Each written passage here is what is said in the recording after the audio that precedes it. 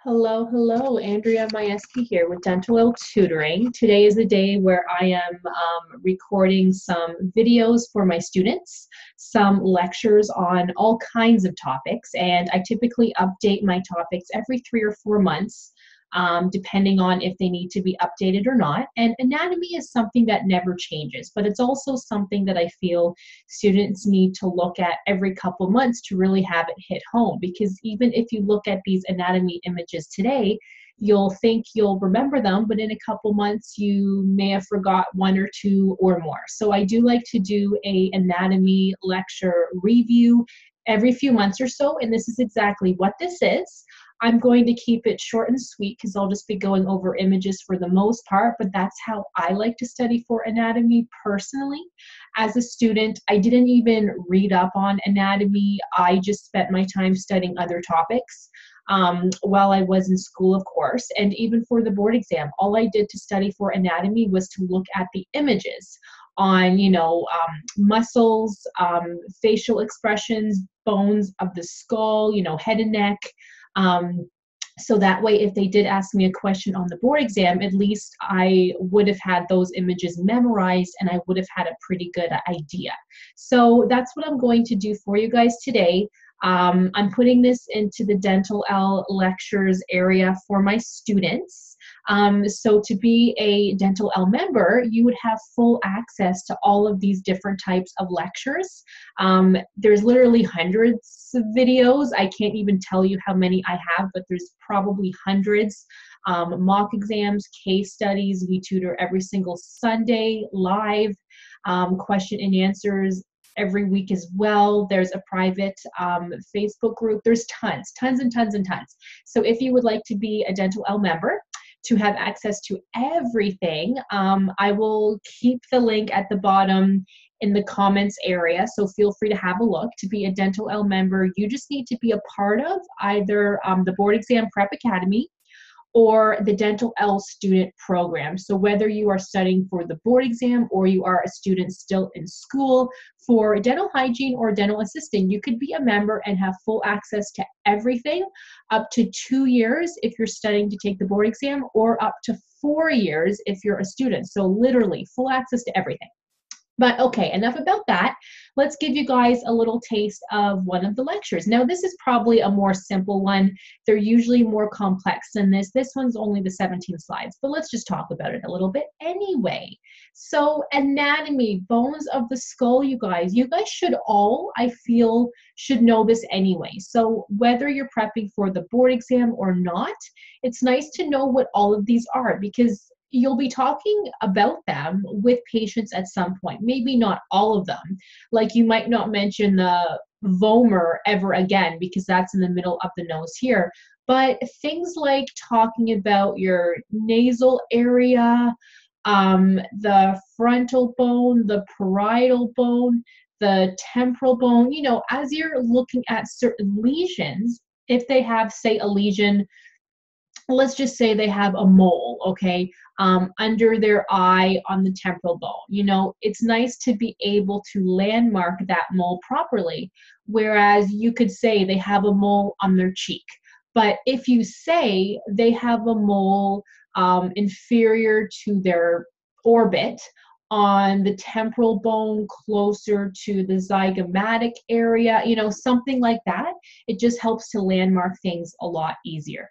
So let's just talk about these a little bit, even though I know you guys can all see these. So if you need to review this, please be sure to stop the video um, and review all of this. So the main things I'd say that I talk about with patients would have to be the ramus of the mandible, um, whether I'm talking about their um, uh, TMJ, if they have trouble opening, closing, if I'm doing the intraoral and extraoral exam.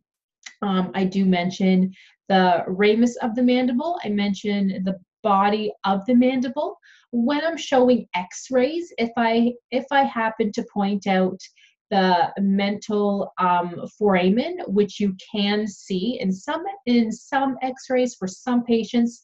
They always think, "Oh, well, I've never heard of that. Like, uh, what is that?" You know, it's just a neat thing to talk about, as silly as it sounds, but it does just help to pass the time, and it makes you look super smart when the dentist comes in and hears you talking about the mental foramen, right? Because not not everybody talks about that. Um, I probably talk about, of course, um, the mandible, the maxilla. Um, you know, like you guys can all read these, of course, but this slide's excellent. It shows you a little bit of everything, so please make sure to review that one. And let's show you guys from the side. So all of the same things, I mean, not all of the same things because obviously this one's more intense, but these are kind of the main ones off to the side. So remember how I talked about the temporal bone and the zygomatic. So the temporal bone attaches, of course, to the zygomatic, or another way to think about it is the zygomatic attaches to the temporal. Um, so your cheekbone is the zygomatic portion.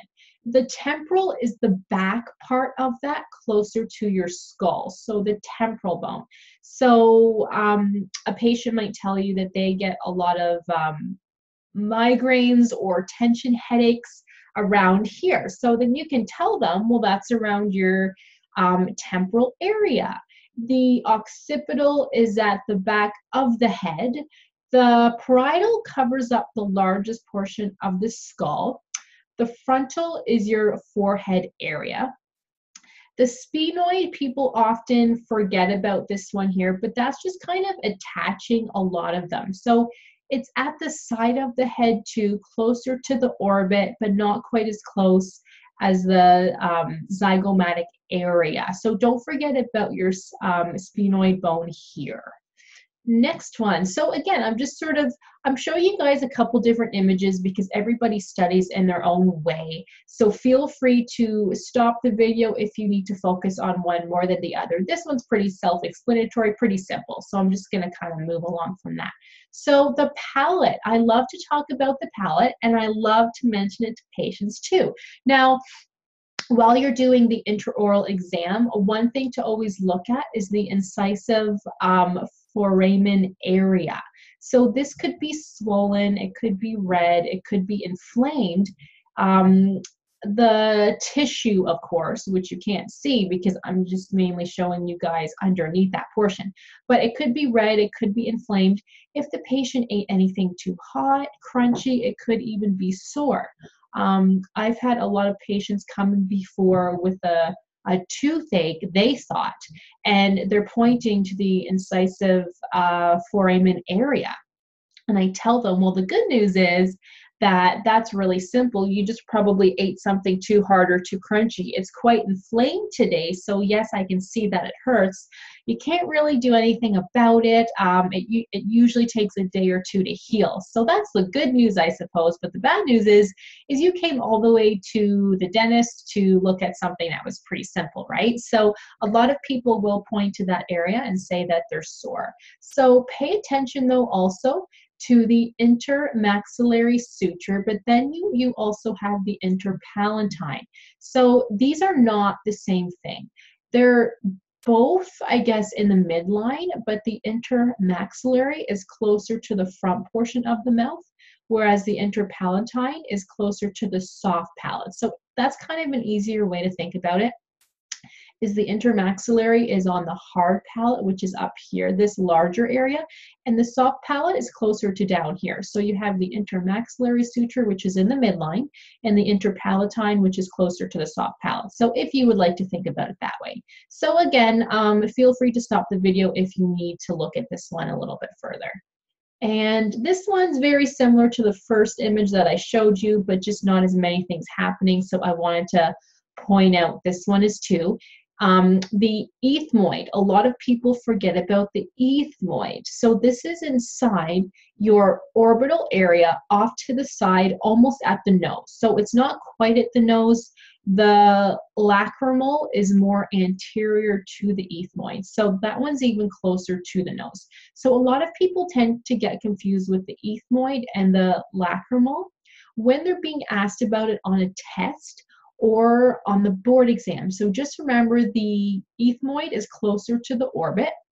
The lacrimal, like they're in the same areas, but the lacrimal bone um, is closer to the nasal area. So if that helps you guys out a little bit, And if you guys are studying for the board exam, they always love to ask about the inferior nas- um, nasal concha. I don't know why, because, you know, it's in the nose. Who cares? We're mainly focused on the teeth, but, anyways, they love to ask about that. So just know it's right in the nose.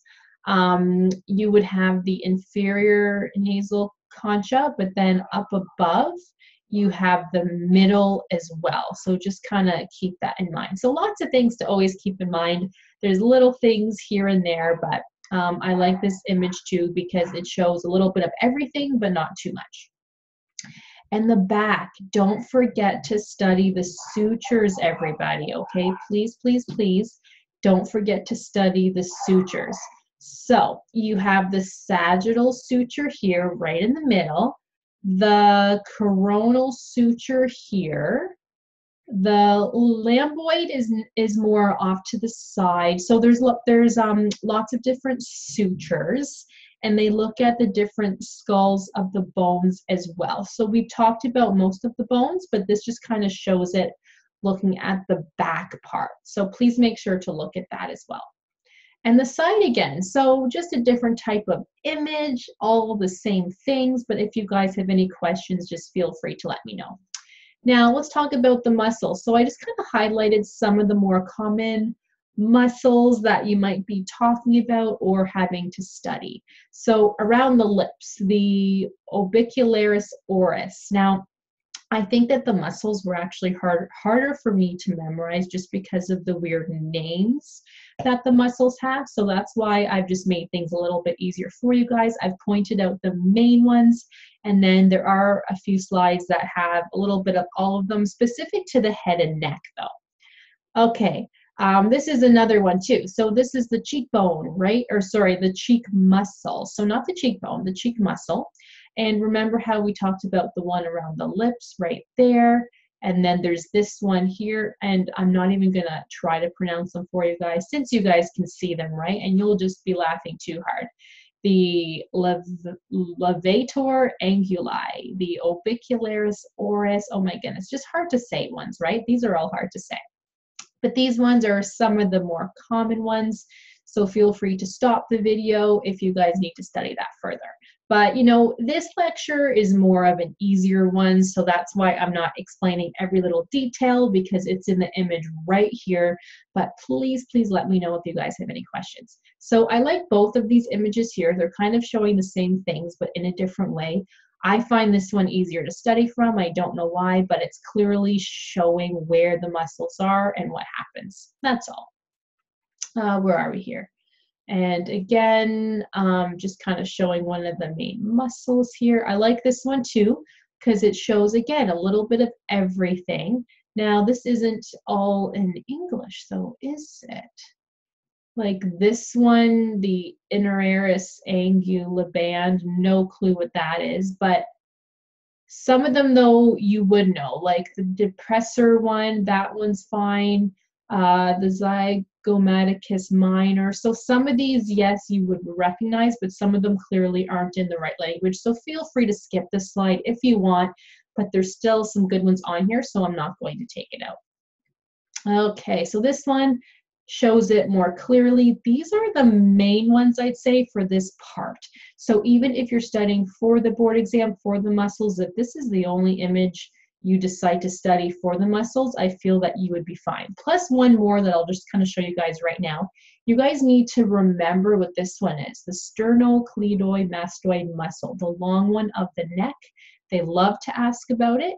And the trapezius muscle, the one like the neck and back and like upper like shoulder sorry so not the back but the neck and the upper shoulder area they love to ask about that one too and I just kind of showed you guys another one here. So this is just showing a little bit more. It's a good one to review as well. So yeah, you guys, so that one was kind of easy. So maybe not the best example to show you guys of our lectures because that was the easiest one that we've ever had. Typically, we spend some more time and I explain everything for you, but this is just me being honest and saying for anatomy you don't have to study every little thing unless of course um, unless of course you're in school and your tests are on every little thing. That's one thing. But if you're studying for the board exam, just keep it simple. You have a lot of other things that you have to study for. So keep it simple and memorize these images. Yes, there are a lot, but it would still take you a lot less time than if you had to go through the textbook and read every little thing. So I'll let you guys look at all of that. Let me know of any questions. And as I mentioned before, if you would like to become a member of um, Dentalelle to have full access to all of these lectures, I've been literally uploading three a week, sometimes more.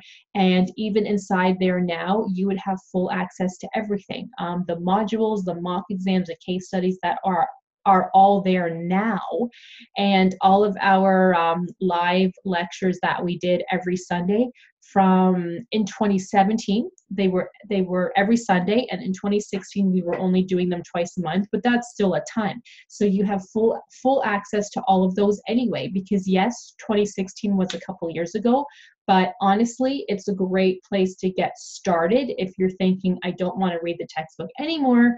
I just would like to listen to you speak and teach me. So I'll leave the link in the comments area if you guys would like to sign up. Please um, feel free to ask me any questions, and I look forward to teaching all of you soon. Thank you so much for watching.